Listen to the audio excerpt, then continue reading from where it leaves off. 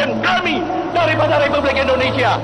Kami hormati apa yang kami tanda tangan. Assalamualaikum warahmatullahi wabarakatuh. Selamat berjumpa kembali di channel Ide Tokoh. Apa kabar semuanya? Semoga Anda sehat selalu dan selamanya diberikan kemudahan rezeki yang halal, juga berkah dan tanpa batas. Oh iya, sahabat sekalian, saya mau beritahukan kepada Anda bahwa channel Jejak Luhur sekarang sudah berganti nama, yakni Ide Tokoh. Sekali lagi channel ini namanya adalah Ide Tokoh. Semoga berkah restu dari guru-guru saya channel ini berkembang kemudian menjadi ajang untuk membuka ilmu bagi saya dan bagi para pendengarnya. Amin. Allahumma ya Allah ya Rabbal Alamin. Nah sahabat pada pertemuan kali ini saya akan membahas seorang tokoh yang legendaris yang berasal dari Indonesia.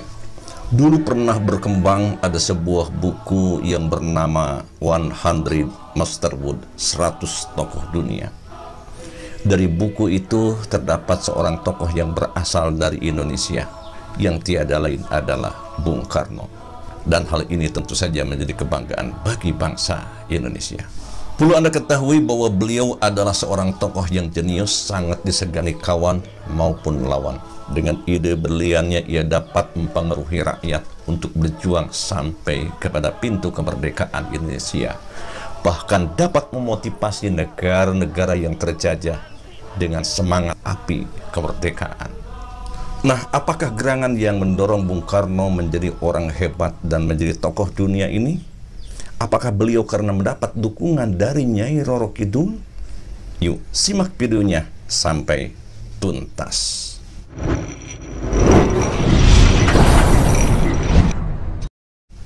Nah sahabat sekalian, riwayat Bung Karno selain dari hasil pendidikan juga gemblengan dari guru-gurunya ternyata Bung Karno ini adalah orang yang pandai bergaul.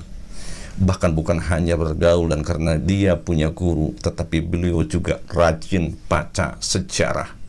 Dan ia selalu membaca sejarah tokoh-tokoh besar sehingga idenya ia serap dan dipraktekkan dalam kehidupan. Bila kita teliti ternyata Bung Karno tidak memilih apakah tokoh yang jadikan idolanya, apakah tokoh yang jahat ataukah tokoh yang baik. Yang penting ia ambil api semangatnya dan dipraktekkan dalam kehidupan sehari-hari dan ia sudah bisa memilih mana yang benar juga mana yang salah.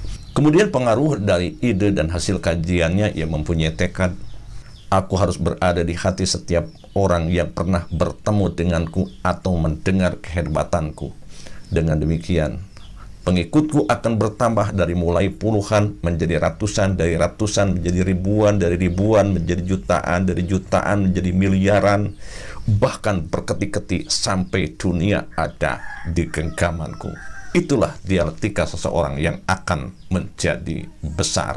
Dalam sebuah buku yang berjudul di bawah bendera revolusi karangan Bung Karno sendiri yang pernah saya baca pada jilid 1 Bung Karno menulis sebuah ide cemerlang yang berjudul Kuasanya Kerongkongan.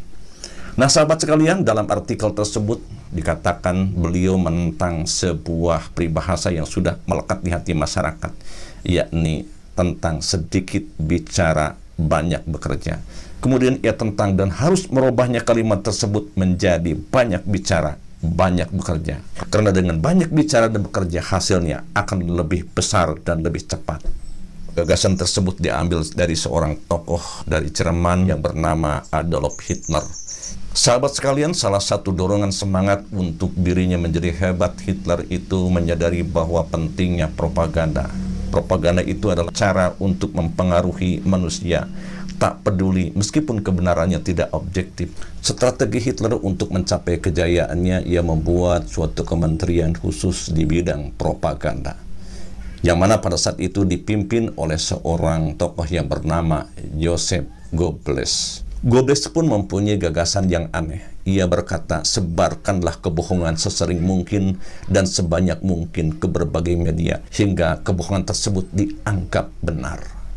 Sehingga saat itu radio, surat kabar, sepanduk, kemudian buku-buku dijadikannya sebagai alat propaganda. Sahabat sekalian, dengan alat propagandanya Hitler, ia dapat menggerakkan rakyat beserta tentara Nazi untuk mengalahkan musuh-musuhnya.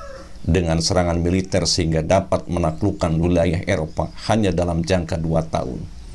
Ia menduduki Polandia, Denmark, Norwegia, Belgia, Belanda, Luxembourg, kemudian Prancis, Yugoslavia, dan Yunani.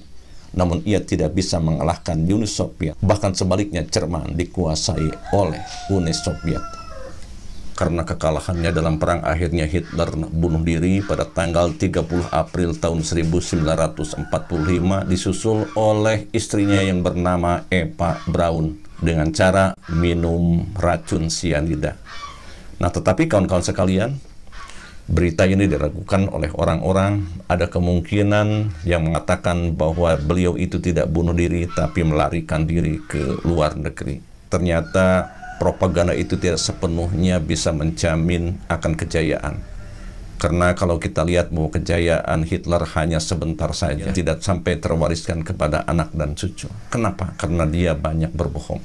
Nah, jadi konspirasi dan kebohongan walaupun ditata sedemikian rupa, tetap suatu saat akan terbongkar. Yang benar akan kelihatan benar, yang salah akan kelihatan salah. Di benar-benar menurut manusia, kalau menurut Allah salah, tetap akan terbongkar kesalahannya. Sebaliknya, di salah-salah menurut manusia, kalau menurut Allah benar, akan nampak kebenarannya. Perlu Anda ketahui bahwa Hitler ini ternyata beliau juga banyak membaca dari seorang paus yang bernama Paus Gregarius ke-15. Ia meninggal pada tahun 1662 dalam idenya ia mendidik para misionaris untuk menyebarkan agama Katolik.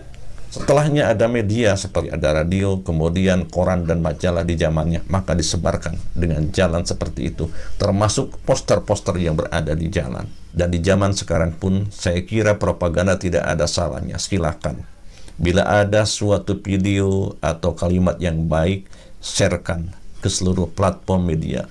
Nah sahabat, Bung Karno mengatakan banyak bicara, banyak bekerja. Hakikatnya adalah kita harus banyak mempropagandakan kebenaran. Banyak bicara, hakikatnya kita harus banyak berinteraksi dengan orang lain. Banyak bekerja, hakikatnya kita harus banyak silaturahmi dengan orang lain. Tetapi ingat kita banyak bicara perlu ilmu, perlu pengetahuan, dan perlu juga guru. Dengan demikian kita akan lebih cerdas dan akan lebih dewasa. Nah sahabat menurut Bung Karno tentang kuasanya kerongkongan, propaganda, banyak bicara, banyak bekerja, apakah ini termasuk iklan? Dan kita menyerukan kebenaran termasuk juga propaganda seperti halnya para dai? Tulis jawabannya di komentar dan jangan lupa bila video ini bermanfaat tekan tombol subscribe, juga like dan share kepada teman-teman Anda. Sekian dulu dari Ide Tokoh. Terima kasih atas segala perhatian. Mohon maaf atas segala kesalahan. Bila taufiq hidayah. Wassalamualaikum warahmatullahi wabarakatuh.